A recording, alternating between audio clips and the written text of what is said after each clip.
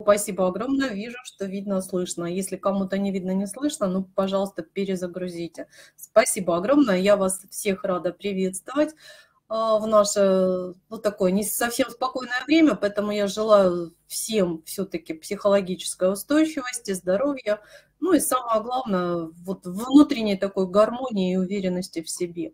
Итак, мы сегодня, э, вот тема заявленная, э, неоднократно она вот как бы просили меня по этой теме сделать обзор. Мы это делали уже не один раз. Я не знаю, расскажу ли я вам сегодня, ну как бы Америку открывать не собираюсь. Мы, я хочу, чтобы мы систематизировали наши знания по финансовой грамотности. Так, видно, слышно. Спасибо огромное. Итак, что у нас а, с нормативной базой? Мы всегда с этого начинаем, потому что когда-то на самом первом вебинаре на эту тематику вот очень хотели преподаватели все-таки увидеть, на что им опираться в своих, а, скажем так, разработках, на что ссылаться. А, ну, давайте очень кратко, если по нормативке пройдемся, то э, и по опыту реализации э, вообще программ. У нас э, с 2011 года по 2019 год на территории Российской Федерации реализовывался проект Минфина и Банка Всемирного банка о повышении финансовой грамотности. И в рамках этого проекта э, было разработано огромное количество э, различных учебно-методических пособий, различных практик, э, игровых практик. И вот с 2017 года, да, вы видите, с сентября я начала документ, это то, что сейчас э, действующее, да, у нас есть а, утвержденная уже на уровне правительства, не просто Минфина, а правительства Российской Федерации, стратегия повышения финансовой грамотности на 2017-2023 год. Обратите на пункт 2, я обновила а, дорожная карта, здесь уже именно реализация второго этапа стратегии. На первом этапе мы с вами знаем, что у нас а, в прошлом году да, в июле месяце для школ а, это актуально, что были приняты новые в ГОС по двум уровням образования. А, это начальная школа и средняя школа. Ну и в этом году вот в дорожной карте написано, что будут пересмотрены в ГОС именно с точки зрения включения финансовой грамотности. Я здесь сегодня буду общаться вот и упоминать все стандарты, а, мы говорим об обязательном включении финансовой грамотности в образовательные стандарты. То есть здесь у нас с вами сейчас в образовательных стандартах это начальная школа, включение в какие предметы, я думаю, мы с вами уже обзор делали, это окружающий мир и частично математика, и в средней школе это что у нас? Математика, география и обществознание. Ну и если мы берем старшие классы, мы об этом сейчас чуть позже тоже будем говорить, то как раз-таки вот в этой дорожной карте, почему я о ней заговорила, а, есть э, именно план включения и в...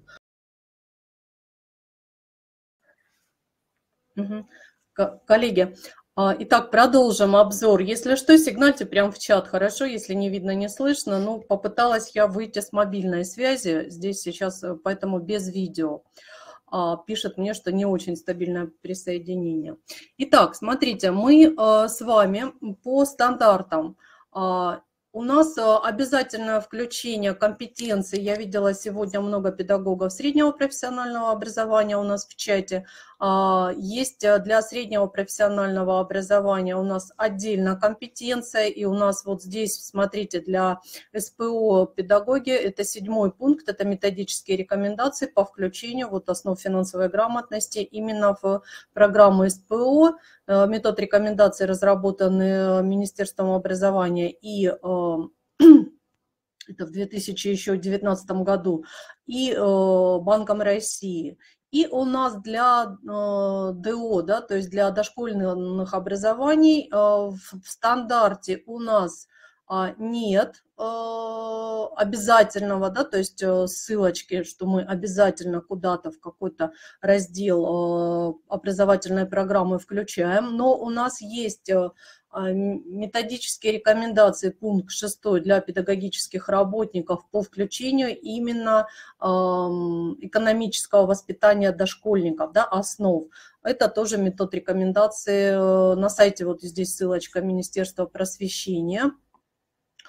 И ну, как бы вот для вузов у нас есть стандарты в ГосВО сайт, и для вузов у нас есть универсальная компетенция, точно так же, как и для СПО, она одна будет для всех, и об этом мы поговорим чуть-чуть позже. Я здесь тоже видела педагогов вузов, кто подключился.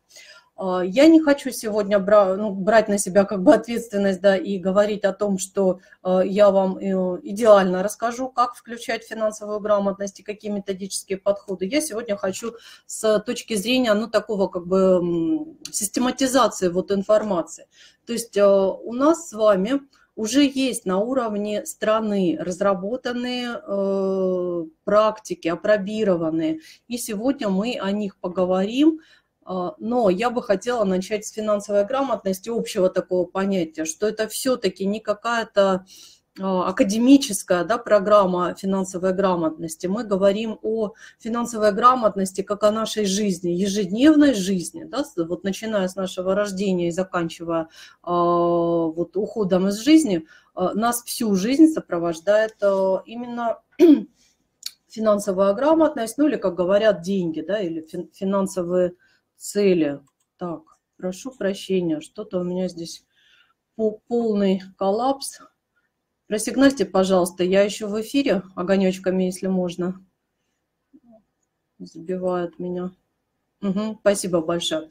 Итак, смотрите, я не стала рисовать свои картинки, не сильно в этом, честно вам признаюсь. Я взяла э, из презентации Банка России. Э, на сайте Ассоциации финансовой грамотности есть вообще отдельный курс по финансовой грамотности. Изображение я убрала, а звук, ну мне только что сигналили, есть. В эфире я? Еще раз коллеги, ну, приношу извинения, может быть, да, угу, то есть слышно, видно. Спасибо огромное. Итак, смотрите, а, говоря о финансовой, о финансовой грамотности, мы рассматриваем ее на протяжении всей жизни. И почему все-таки а, включили в программу образования, да, то есть давайте вот вернемся к этому, почему включена в программу образования финансовая грамотность. А, мы говорим об этом именно, так, сейчас я указочку подключу, вот смотрите, мы с вами, как педагоги, да, мы вот здесь, это детство, учеба, и те, кто вузовские педагоги, ну вот от 18 там примерно до скольки, до 22, да, ну я сейчас так грубо беру период, это студенческая жизнь, ну у большинства населения. Вот мы с вами на этом этапе, почему мы как бы включили нам именно в, обязанность э, преподавать финансовую грамотность? Потому что во-первых, э, вообще вот как финансовое образование не только у нас в России, а вообще в мире э, началось ну, как бы с 2000-х да, годов, вот именно в нашем веке проблема. Проблема в чем? В том, что у нас с вами сейчас сформулирую, да, то есть э, мы с вами живем в век информации. Этой информации очень много. Эта информация мы сейчас на стыке цифро, э, цифровой, да, перехода полностью в цифровую э, жизнь. То есть все наши финансовые услуги, в принципе, уже в большинстве случаев перебрались в цифровой мир, то есть они все оцифрованы. И дальше будет только больше, да, то есть цифровизация, она ну, вот как бы ускоряется. Поэтому нам с вами очень важно вот на уровне сейчас э, дошкольного образования от 5 да, где-то лет рекомендации Минпросвещения до выхода ребенка во взрослую жизнь, это до окончания школы, а создать вот эту базу, ну, таких, скажем так, мало того, что просто правильных ценностей, но еще базу а, грамотного а, обращения вот с этими финансовыми э, услугами. А ребенок с этим начинает сталкиваться, ну, скажем так, с момента появления телефона, да, у него появляются персональные данные. А мы сейчас с вами знаем, что к персональным данным у нас... Э, так, коллеги, ну, секунду, еще можно, вы мне будете время от времени тут огонечком сигналить, чтобы я понимала, в эфире я или нет с моей связью. Итак, смотрите, мы с вами э, даем вот эту базовую основу. Понятно, что э, ребенок приходит из семьи, и здесь э, многие методические рекомендации и учебно-методические комплексы, они опираются и на семейную ценность. Спасибо огромное, коллеги, за обратную связь и э, на семейные ценности. Мы ни в коем случае, да, многие, я знаю, педагоги боятся, что, а что скажут родители, э, будем ли мы навязывать какие-то установки. Э, я думаю, что это за рамками, э, скажем так, образовательных организаций. В рамках образовательной деятельности мы как бы э, сообщаем, да, то есть мы говорим, какие есть э, знания, э, какие есть ценности, а в рамках уже семьи принять эти знания, либо э, продолжать, ну, как бы со, свои установки. Но я думаю, что э, в совокупности вот этот путь э, мы сейчас с вами, вот посмотрите, пожалуйста, на этот путь человека и сами для себя вот подумайте, вот когда мы доходим до пенсии от государства, да, ну сейчас как бы это 60-65 лет,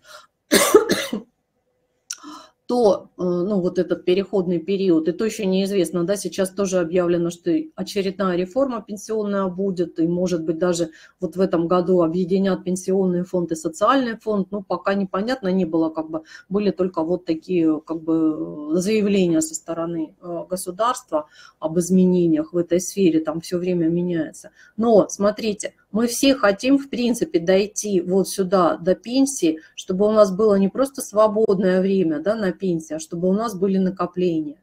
И, в принципе, вот вся основа а, финансовой грамотности, если на нее посмотреть вот так комплексно да, за всю жизнь человека, то это именно установ, ну, как бы не установки, а знания, как дойти вот до этой пенсии, ну, скажем так, финансово свободным человеком, чтобы мы не опирались только на пенсию от государства. Вы видите, что а, государственная пенсия – это только малая часть. И вы, в принципе, каждый из вас сейчас а, можете зайти на сайт пенсионного фонда, скачать свой лицевой счет и уже увидеть, сколько баллов вы накопили, умножить это на стоимость балла в 2022 году и понять, какую примерно пенсию вы сможете в будущем получать от государства но в то же время посмотреть и на демографические проблемы, и э, понять, что пенсия увеличиваться государственная не будет, а значит, нужно увеличивать свои знания, умения, навыки в управлении своими личными финансами и не просто зарабатывать деньги, а уметь их что, сохранять и приумножать. Это очень сложно, э, особенно вот, ну, как бы в России, это очень сложно, я вам, ну, как бы говорю на своем опыте, но тем не менее это возможно. Тем не менее, это возможно, и возможно, в принципе, при любом уровне дохода, если человек обладает именно а, знаниями о финансовой грамотности. А, я думаю, что по ссылке вы сможете пройти, эта презентация вам пригодится, а, посмотрите общую как бы цель. Но суть, вот почему я взяла вот этот жизненный путь человека, потому что ситуация, в принципе, по финансам а, у нас не очень веселая, да, то есть по личным финансам граждан России, по уровню финансовой грамотности, несмотря на обследование, что у нас все-таки а, есть, а, достигнут там уровень где-то Россия примерно там на девятом месте в мире по уровню финансовой грамотности, но вот по знаниям но вот применение этих знаний на практике у нас очень сильно отстает. И я думаю, что эту тему сейчас поднимают и эм, для педагогов э, школьного образования, старшеклассников актуально, да, потому что в этом году международные исследования ПИЗа в которых вы участвуете, и там э, функциональная финансовая грамотность в том числе будет проверяться. Я думаю, что здесь э, вы присутствуете на разных вебинарах, которые ведутся на федеральном и региональных уровнях. Но что я хотела сказать, посмотрите, пожалуйста, еще раз напомню, просроченная кредиторская задолженность просто физическим лицам приближая, приблизилась к триллиону рублей ну вот здесь на 1.10.21 года я поднимала статистику. О чем это говорит? Вот как раз-таки об актуальности а, финансового просвещения, финансовой грамотности для всех граждан. Потому что у нас а, граждане, несмотря на то, что конец 90-х, МММ и все остальные финансовые пирамиды, вроде бы прошли, да, должны быть научены многие семьи на своем горьком опыте, скажем так, но нет. У нас э, все равно в прошлый год вспоминали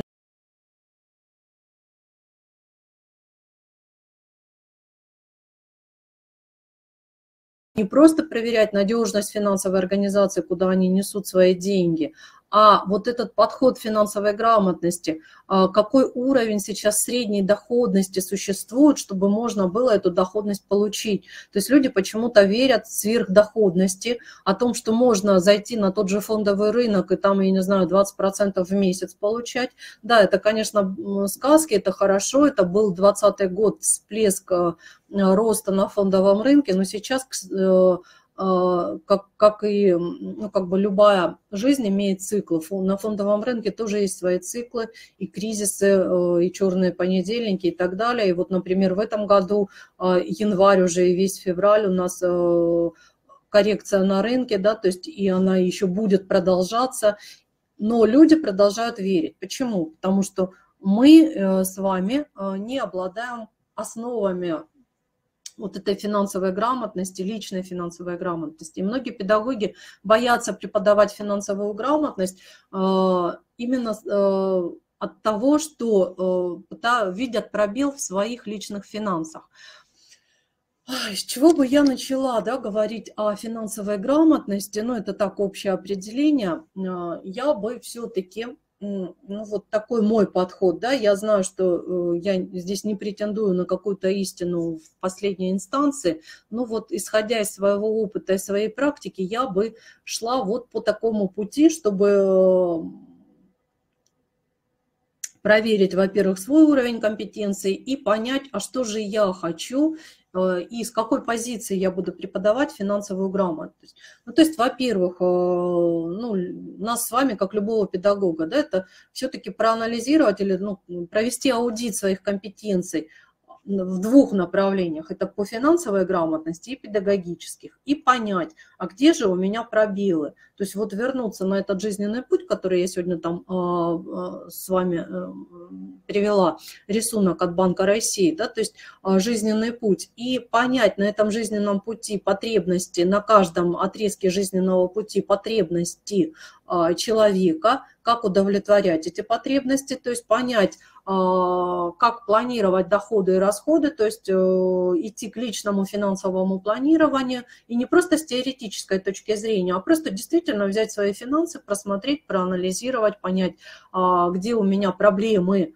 в моих личных финансах, чего я не знаю, и как я могу это повысить. Как повысить? Э, сейчас э, не обязательно платить огромные деньги за образовательные курсы. Мы говорим о том, что финансовая грамотность и финансовое просвещение у нас э, на уровне вообще страны, в принципе, если захотеть, можно найти курсы.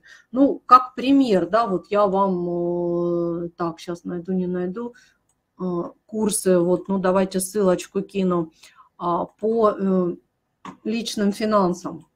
Это я так на вскидку, вот а, на Курсере, да, вот я здесь выборку сделала, управление личными финансами. На сайте Ассоциации финансовой грамотности, например, если вы зайдете в раздел, сейчас я вам скажу, а, в раздел э, «Волонтеры», зарегистрируетесь, допустим, как волонтеры, вы можете подключиться к курсу от ассоциации абсолютно бесплатным курсом по финансовой грамотности, именно по личным финансам, то есть понять, на каком уровне у вас вот, вот уровень личных финансов. Теперь, если касается педагогов, курсы повышения квалификации, ну вот э, я вперед забегаю, вот если вдруг еще все-таки обрыв будет на линии, я вам бросаю сейчас ссылочки э, методических центров, мы об этом поговорим. Там есть уже курсы повышения не только по финансовой грамотности, но уже с точки зрения преподавания финансовой грамотности. И, кстати, методический центр Высшей школы экономики экономики сейчас вот буквально с конца февраля по март набирает курсы для педагогов-предметников. Можно через сайт зарегистрироваться, можно выйти на свои региональные центры и зарегистрироваться, через них подать заявки на повышение квалификации для, ну, там для всех уровней образования, в принципе, школа, а, СПО, А вот вузовские педагоги могут повысить свою квалификацию, следите за Федеральным методическим центром МГУ. Но об этом я еще сегодня поговорю. Итак, смотрите, когда вы проверили уровень своих компетенций, вы поняли, где у вас есть пробелы, чего вы не понимаете в формуле денег, да, то есть заработать, сохранить, приумножить, вот где здесь у нас проблема, где проседание, а, идем, повышаем свою грамотность и э, изучаем личные финансы, управление личными финансами, а, поднимаем рамку компетенций, тоже на нее ссылка у нас будет э, в презентации, если вы скачали, я думаю, вы уже нашли эту ссылочку. То есть смотрим на какие компетенции, в какой области у нас проседают, и подтягиваем. Да? И с точки зрения педагогических компетенций, ну, у всех есть, я думаю, что педагогическое образование базовое. Здесь вы, может быть, даже лучше меня знаете, как повысить свои компетенции. Или идем и повышаем компетенции по программам для педагогов. А вот когда мы подходим э, к разработке своей программы, уже э, внедрения, да, то есть э, в финансовой грамотности в ваш образовательный процесс, то я бы рекомендовала, ну, как бы, как у нас говорят, знания, умения, навыки, да, то есть я бы рекомендовала, здесь уже чисто со своей точки зрения, я так упрощенно написала эти вопросы, то есть ответить на вопрос, а зачем я буду учить финансовой грамотности? Ну, то есть здесь цели могут быть разные. Например, ну так, утрирую, а, вот заведующий там или директор сказал, что все, будем внедрять финансовую грамотность. Понятно, педагог сказал, будем, и, ну, как под козырек, да, что будем. Но вот с этой позиции многие педагоги, ну, хорошо, будем внедрять, и пошли искать разные УМК. То есть ответьте себе на вопрос – вы хотите реально действительно разработать какой-то глобальный курс и э, ну, научить, чему вы хотите научить детей вот на этом отрезке от там, 5 до 18 лет, ну, в зависимости, в какой вы структуре образования находитесь, то есть на каком отрезке образования детей вы находитесь. И вот здесь честный ответ на этот вопрос, зачем, да, э, он сразу э, вашу цель то есть она будет более глобальная, и вы будете разрабатывать действительно программу, либо вы будете просто внедрять какие-то элементы финансовой грамотности в свою программу, ну, чтобы они у вас были. И тогда уже второй вопрос, чему я буду учить, он э, выходит из вашей этой цели. То есть вы просто кратко себе разбиваете вашу цель на задачи. То есть это в зависимости от того, будет комплексный курс, ну, например, в дошкольной организации вы двухгодовой будете курс реализовывать в соответствии, допустим, с метод рекомендациями, то есть для детей отдельно 5-6 лет и 6-7 лет, либо у вас просто будут элементы а не в основной программе, а в, вы будете элементы в различных э, направлениях внедрять, ну, как бы частично, ну, что-то там а, в, в основную программу, что-то вы включили там, я не знаю, физическое развитие, речевое развитие и так далее. Ну, то есть все будет зависеть от этой вашей цели. То же самое для школьных педагогов. Вы как предметник здесь выступаете, и вас волнует только вот ваш отдельный предмет, либо вы хотите, э, как, как допустим, классный руководитель, и у вас э, вы хотите какой-то там кружок открыть или доп. занятия создать по финансовой грамотности. Вот исходя из вашей цели, вы уже подбираете себе э, задачи, да, то есть чему вы будете обучать детей финансовой грамотности. И только когда вы определились и ответили на первые два вопроса, то есть зачем и чему я буду обучать, то есть поставили цели и расписали задачи, это в принципе, да, у нас любая рабочая программа из этого состоит, ну как бы если мы подходим к этому более осознанно, то тогда вопрос «как?» уже э, самый простой. То есть почему? Потому что методик масса, Э, игр, э, различных пособий, ну, я не знаю, там онлайн э, всяких интерактивов. Их очень действительно на самом деле много. И тогда вы под свои задачи уже подбираете методич, методики, инструменты и ваш как бы, ну вот такой пазл, он сложится. То есть цель, задача и методики, ну, как у любого педагога. Скажите, пожалуйста, можно у вас получить обратную связь? Вот в чем у вас возникают трудности, да, то есть а, почему вы здесь, да, скажем так, на вебинаре именно по ну, обзору методических рекомендаций. Пока вы будете думать, я буду очень благодарна обратной связи а, от вас – если вы кратко напишите, да, то есть с какими трудностями вы сталкиваетесь и на какие вопросы я могла бы ответить. А я пойду э, с вами делать обзор дальше. Итак, смотрите, в прошлом году вот в рамках реализации стратегии повышения финансовой грамотности на уровне правительства были утверждены, э, ну как бы созданы, они в принципе были, уже работали эти центры, но они были официально утверждены и э, созданы федеральные методические центры по финансовой грамотности. А, ну, например, Федеральный методический центр э, Высшей школы экономики, сайт здесь, ссылочка на сайт, и в чат я вам бросила ссылочку. А, он работает с 2016 года.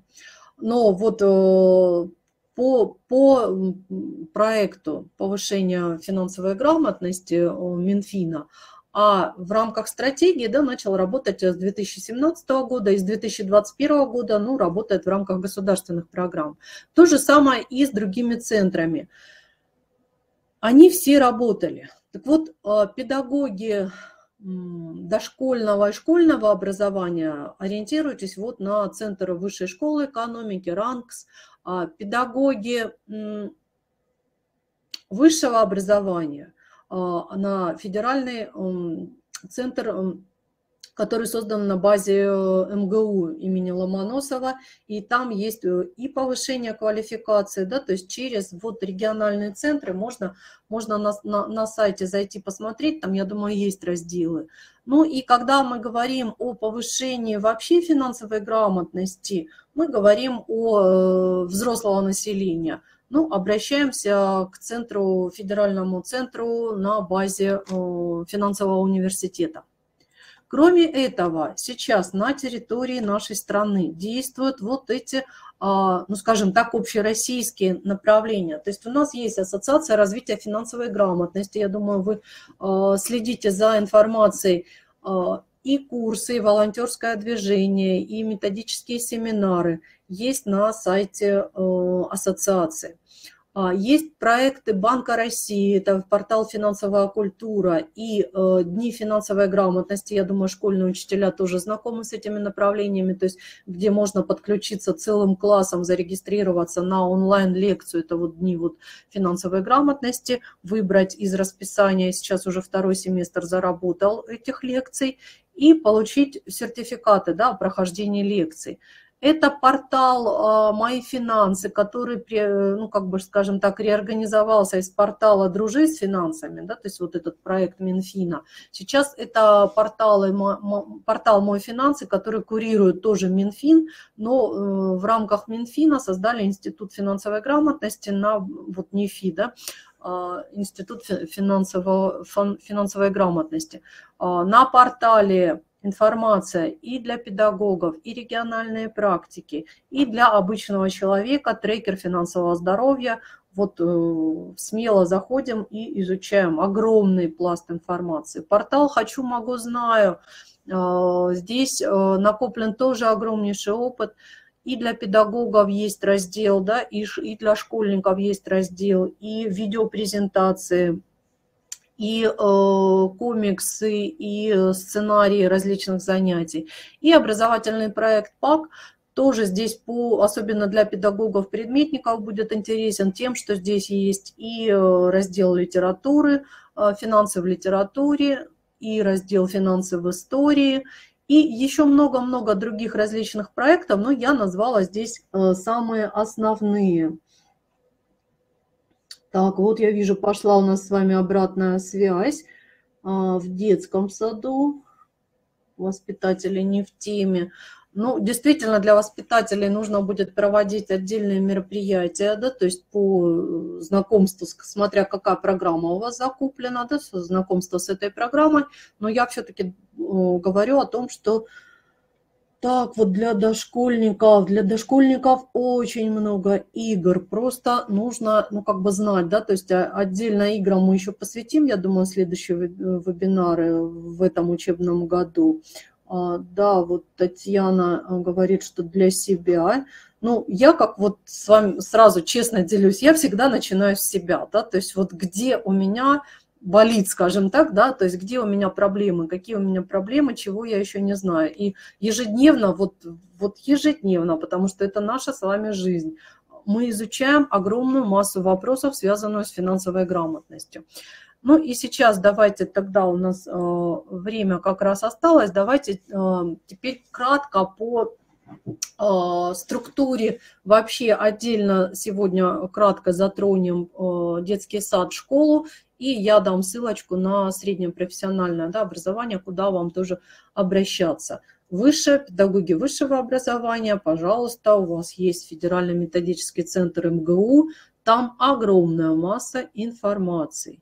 И сейчас еще отслеживайте, пожалуйста, на уровне э, страны и на уровне регионов, что у нас есть. Во-первых, кроме федеральных методических центров, в регионах, э, в каждом регионе уже э, отчитался Минфин, что 100% да, практически в этом году, ну, тенденции к 100% принятия стратегии развития финансовой грамотности в каждом регионе.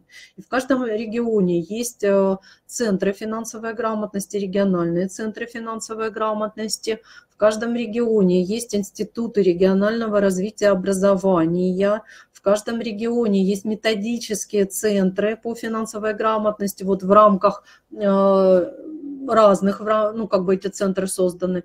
То есть, пожалуйста, вот эта вся инфраструктура, она создается, она постоянно преобразуется, она растет, ну, как бы усиливается. И я думаю, что для педагогов э, очень сильная поддержка будет эм, от федеральных методических центров.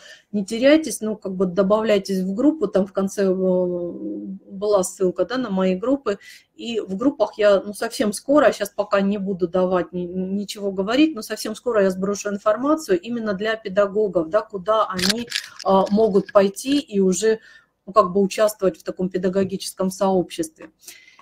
Итак, для дошкольных педагогов, вот здесь я ссылочку даю. Э, я взяла ссылочку из э, методических рекомендаций Министерства просвещения.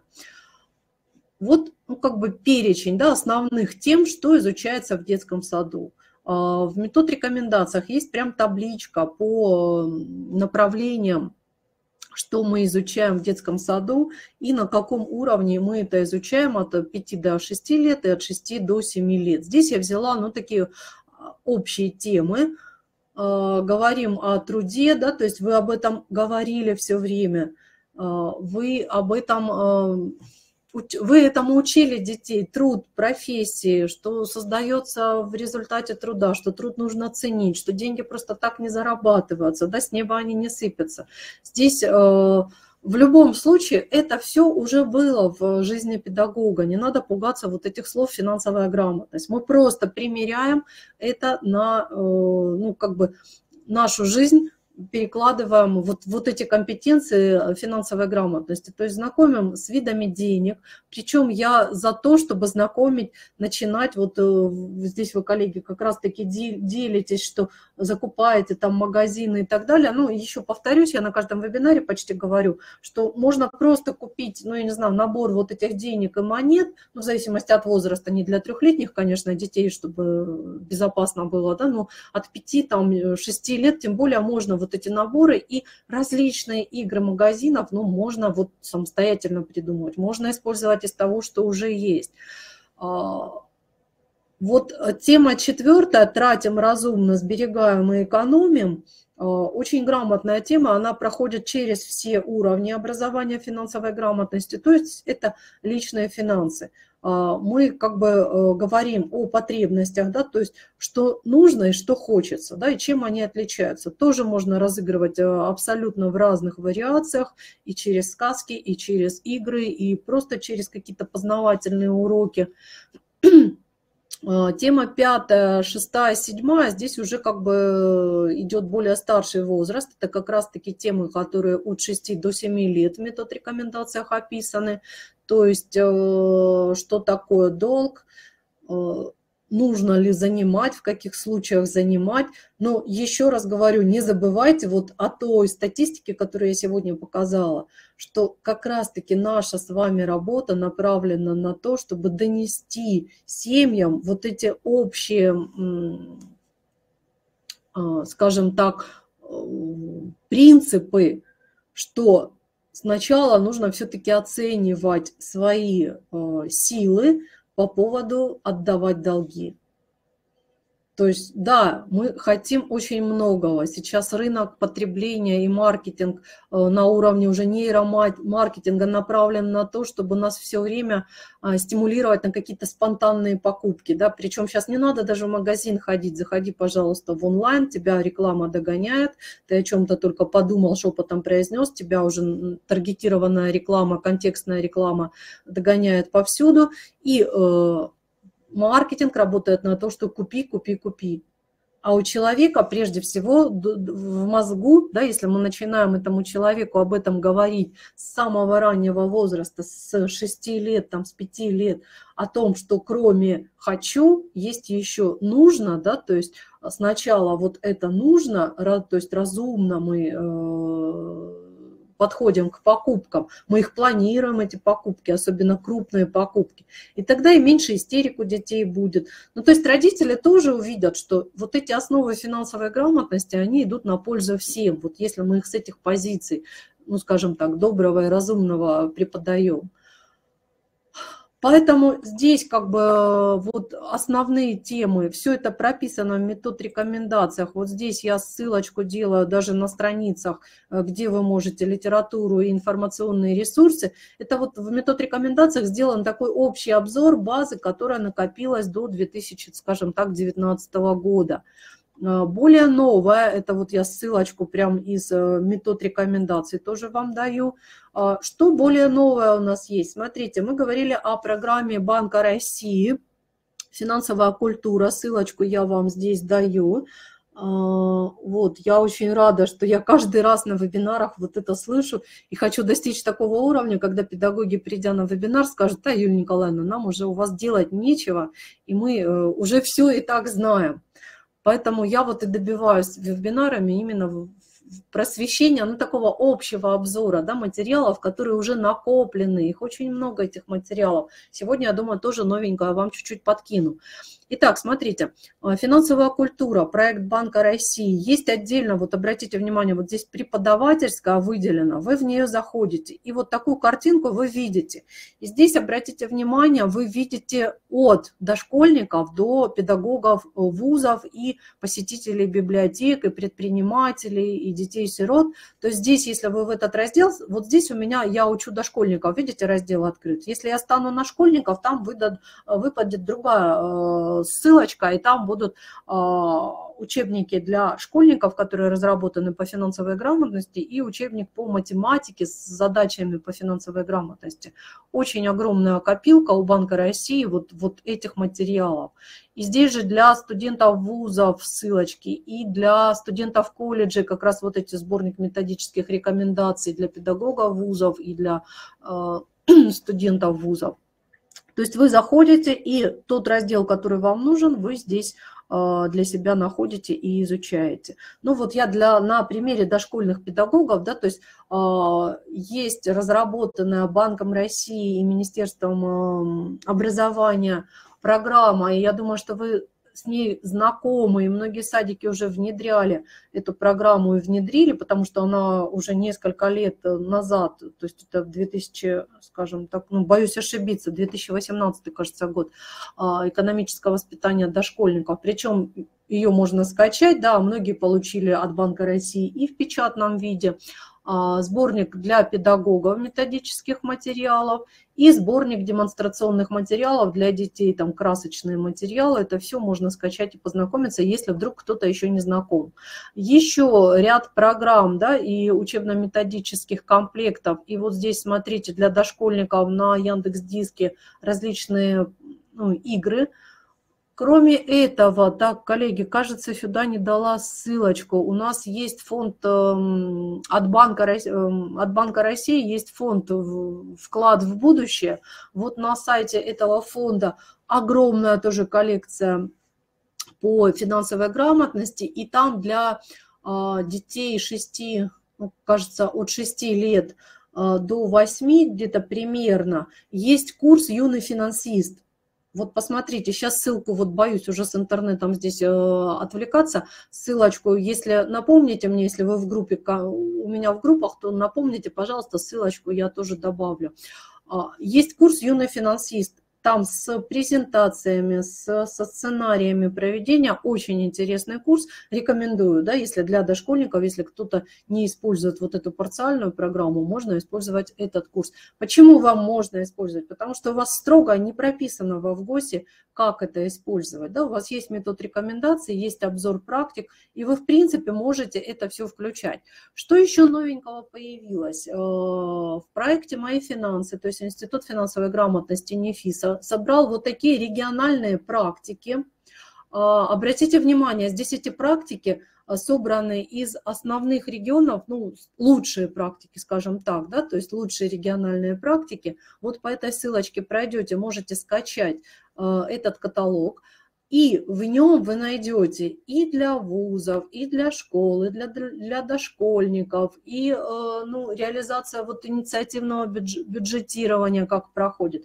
То есть все самые лучшие практики, которые были – вот они в этом каталоге 22 года собраны. Это то, что есть новенького, да, то, что появилось новенького. Ну и вот для дошкольников, смотрите, я зашла на Омскую область, программно-методическое обеспечение для дошкольного возраста Омской области. Вот здесь ссылочка на э, этот, э, этот опять-таки каталог. А вот здесь э, ссылочка, так, сейчас секунду, внизу я ссылочку прикладывала, ссылка на вот эту региональную методическую копилку. И здесь э, обратите внимание, то есть собраны практики уже по различным направлениям развития детей, то есть физическое развитие, социально-коммуникативное, речевое развитие, культурное развитие. То есть вот эти практики обзорно здесь собраны, то есть можете зайти, познакомиться, я думаю, что будет интересно.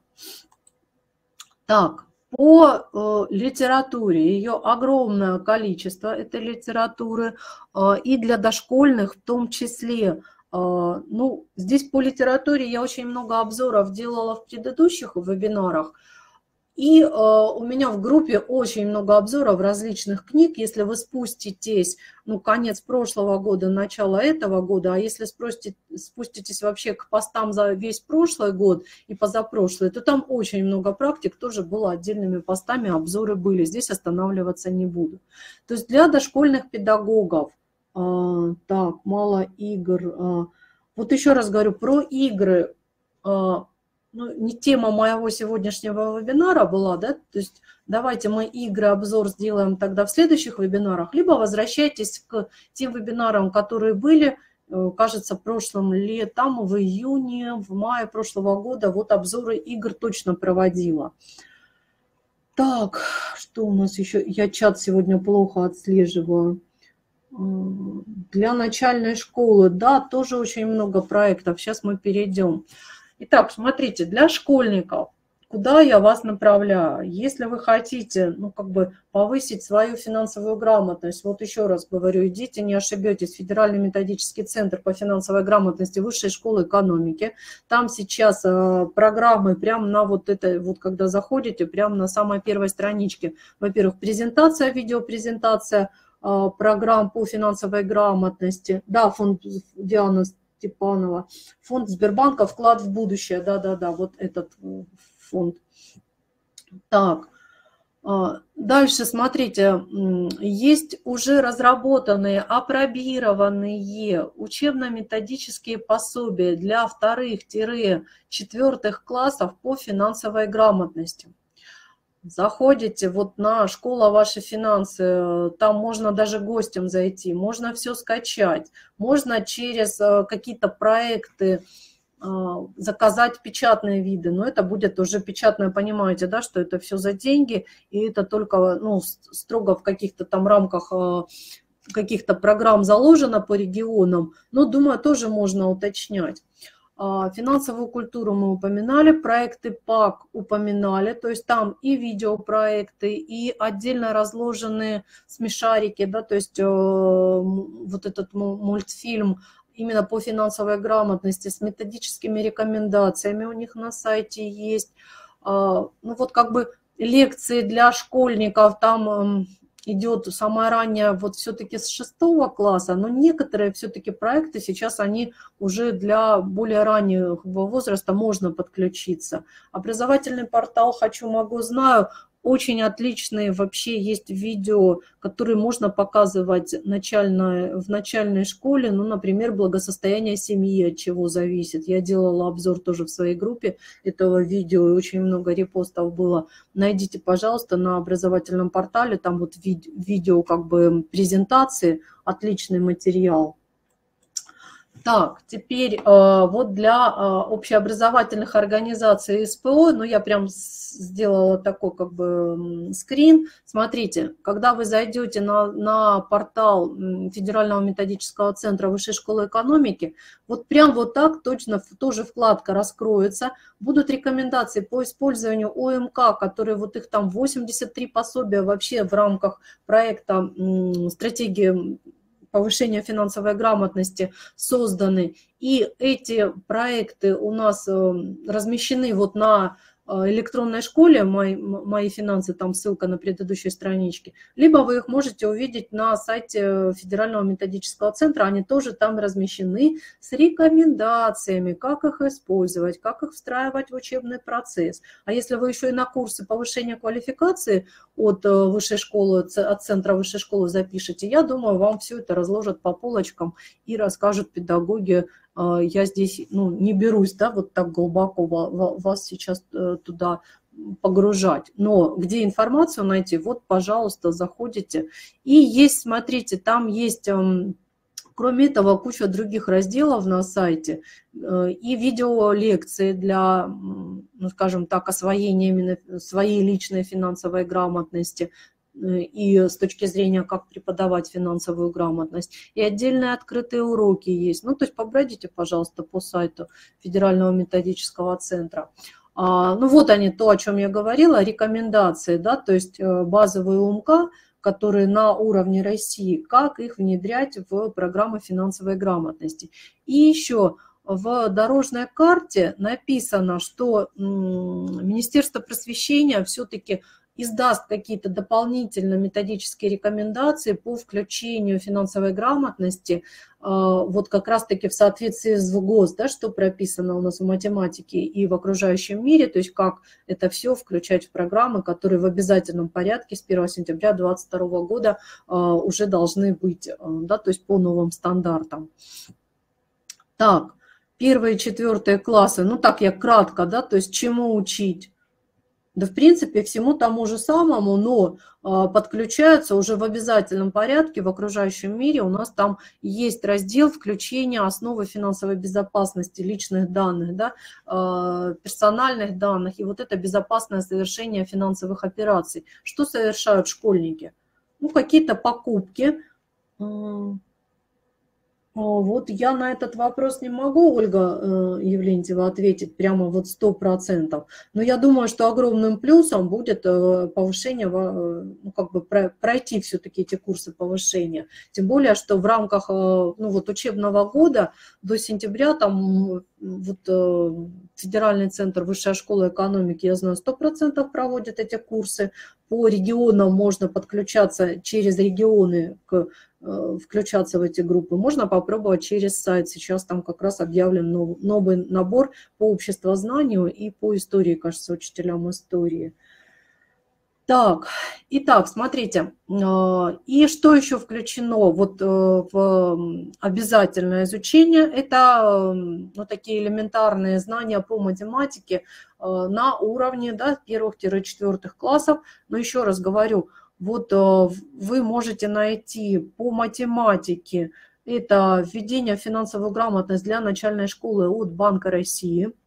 Учебное пособие, заходите на финансовую культуру, выбираете, что вы э, для, школь, для школьников, да, то есть и находите там все вот эти метод рекомендаций, которые можно скачать с разработанными задачами, заданиями, с рабочими тетрадями, с методичками для педагогов. Все это можно скачать. Для обучающихся, ну, кроме, смотрите, это основы финансовой грамотности, а есть отдельно еще по математике, да, то есть первых 11 классов. Вот я том первый здесь для первых четвертых классов.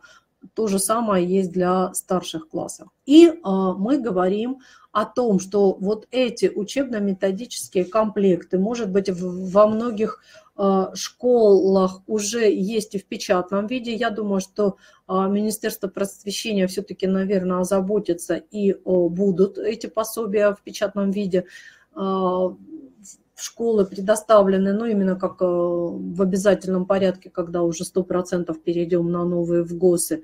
Может быть, новые пособия, раз, э, сейчас и новые курсы и пособия разрабатываются. Поэтому здесь только отслеживать информацию. А. Да, вот коллеги здесь, Ольга делится, что прошла обучение в Московском центре да, по финансовой грамотности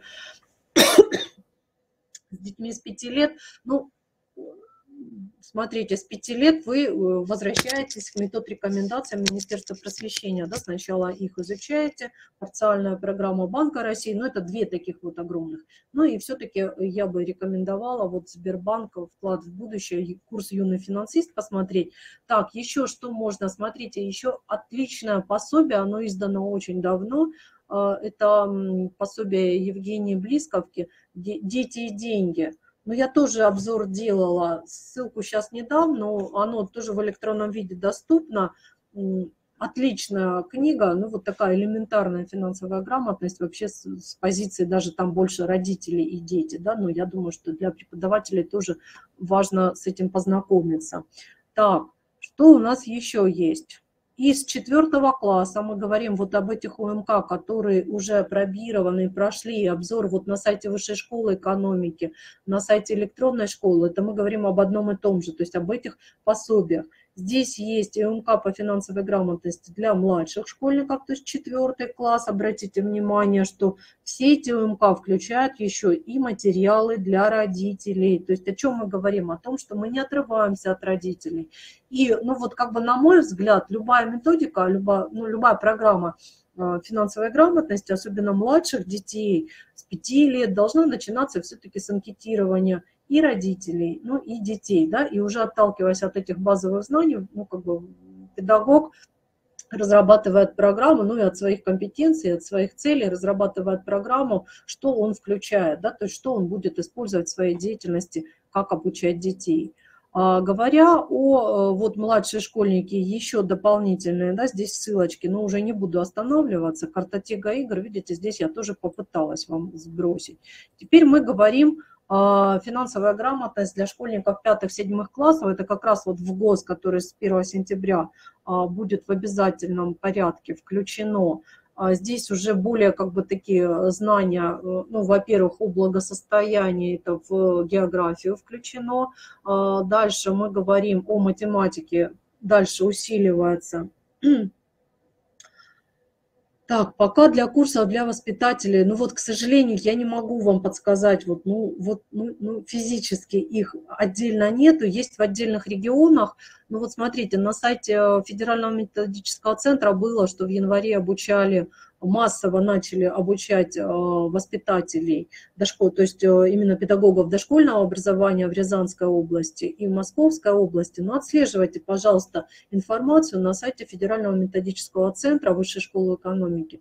А, ну, я думаю, что такие курсы в ближайшем будущем появятся. Так, теперь для пятых-седьмых классов, э, ну вот основы рисков уже включены в программу по обществознанию, по математике более продвинутая задача. Ну и в целом, если вот, ну как бы обратить внимание, чему учить, а, здесь уже можно обратиться к рамке финансовых компетенций. Так, и у МК то же самое, вот а, у МК э, дальше разработаны вот вот эти э, картинки с книжками УМК, которые я привожу, они вообще комплексные. Эта вся программа, начиная со второго класса и заканчивая одиннадцатым классом, она разработана как единая программа. То есть, и если вы берете в школе эти ОМК, то они будут, ну вот как бы как единой такой программой со второго по одиннадцатый класс. Здесь я просто их разбил, разбила именно по классам, как они здесь проходят. По игровым технологиям, ну небольшие тут ссылочки есть, но моя цель не была сегодня вот глобально с игровыми технологиями, у нас будет отдельный вебинар.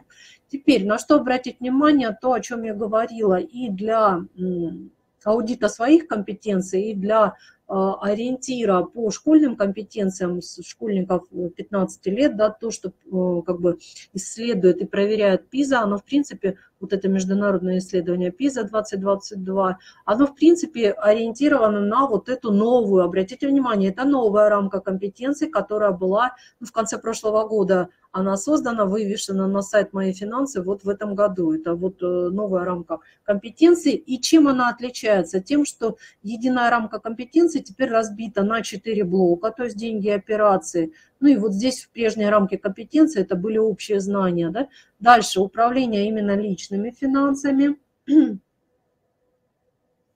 да, Ольга вот э, делится своей практикой. Э, коллеги, просите у руководства, они связываются и с региональными центрами развития, и с методическими центрами. Сейчас для педагогов очень много бесплатных программ повышения квалификации, в рамках которых вы потом можете получить, вот, а, когда закончите да, успешно эту программу пройдете, то можете получить удостоверение, подтверждающее, что вы прошли это обучение. А, теперь третий раздел – риски и вознаграждения, но это уже для более старших классников, причем инвестиции, страхование, риски, они э, идут банки, банковская деятельность, уже 10-11 класс в рамках отдельных профилей идут. И есть метод рекомендаций для старшеклассников – можно вообще в перечне федеральных учебников поискать финансовую грамотность, а можно в рамках этой же, вот я продолжаю, УМК, вот эти 83 пособия, а, как их внедрять на сайте Федерального методического центра Высшей школы экономики, есть рекомендации. Вот они продолжаются, да, и в рамках 10-11 класса, обратите внимание, по отдельным модулям уже, э, профилям, то есть э, есть общеобразовательный профиль, а есть отдельные профили, юридический, там, математический, либо уже профиль предпринимательства или собственный бизнес, банки, ну, фондовый рынок, страхования, то есть это уже в рамках отдельных профилей. И там внутри, когда вы заходите, есть полный комплект всех э, метод рекомендаций, рабочих тетрадей, учебных пособий, рекомендаций для родителей и так далее. Вот так они выглядят, да, то есть э, для СПО тоже отдельно, вот в рамках этих метод рекомендаций, есть отдельное направление для среднего профессионального образования, финансовая грамотность. Точно так же можно скачать и рабочие тетради, и саму программу. Про региональные центры на сайте а, Высшей школы экономики. Ну, например, то, что я знаю, да, вот я вам сейчас ссылочку прям с сайта дам, а, региональная сеть, заходите, находите свой регион и э, там э, ищите контакты, да, ну, вплоть до того, что, как говорится, если стучать в дверь, то она, наверное, может открыться, можете написать или позвонить и уточнить, какие программы есть в вашем регионе, есть ли они. Потому что не все пока региональные центры, там я нашла сайты, ну, где, где вывешены программы. То есть, пожалуйста, я думаю, что э, главное понять, так, и еще, смотрите, есть на Я-классе 7-9 класс, и на Яндекс учебнике есть даже по, по функциональной грамотности курсы повышения для педагогов. Если мы заходим на Яндекс учебник, там очень много курсов повышения тоже для педагогов. Коллеги, ну вот кратко я попыталась а, провести да, такой обзорный вебинар, то есть а, как ориентироваться в море информации – то есть я еще раз э, вернусь вот к этому нашему слайду. Сейчас попробую быстрее к нему вернуться. Когда мы говорим э, о все-таки ну, такой, скажем так, из нашей каши в голове мы делаем такой методический подход. То есть, исходя из вашей цели, исходя из ваших компетенций, вы разрабатываете и включаете в ваши курсы обучения уже в зависимости, да, то есть от объема э, информации, которую вы хотите издать. Но обратите внимание, да, то есть на все-таки э, жизненный путь вообще человека финансовой грамотности и ваши личные финансы, да, то есть чем э, лучше у вас обстоят дела вот в ваших компетенциях, тем э, больше доверия вы вызываете у учеников, ну, как, как любой педагог. Презентацию вы можете скачать. А, ссылки на свои группы я сейчас вам дам. И прошу отслеживать информацию для педагогов в группах. Скоро вывешу информацию, вот куда вас при, ну, могут пригласить, да, то есть вот эти педагогические сообщества, какие сейчас создаются, и, какие, и как в них можно попасть, будет, это мы с вами в группе, потом я вам информацию эту дам в скором времени. Спасибо всем огромное за присутствие. Еще раз приношу извинения за то, что я сегодня без видео, но лучше так, да, чем с провисающим вебинаром, потому что все-таки с мобильной связи выходила. Так, ну и как бы Жду вас на следующих вебинарах. И в группе, в группе я всю информацию, вот смотрите, я стараюсь в группе тоже делать обзорную. Сейчас она больше как бы у меня группа анонсы, потому что физически времени не хватает на э, ну, какие-то мастер-классы методические. Но анонсы всех мероприятий, все, что вот в стране у нас происходит по финансовой грамотности и развитию, стараюсь следить в группе вывешиваю. Благодарю за внимание. А, если есть какие-то вопросы, пожалуйста, я сейчас на вкладку «Вопросы» а, захожу, я там вижу только про сертификаты вопросы. А, так, ну, как бы не вижу вопросов. Если вдруг появляются вопросы, ну, вот заходите в группе ВКонтакте, там есть даже виджет, можете через него вопросы. Спасибо всем огромное. Ну и предпраздничный день. Желаю всем здоровья, отличного настроения, ну и в четверг выхода на работу, да, в боевом таком настроении. Все, всех благодарю, до свидания, до новых встреч.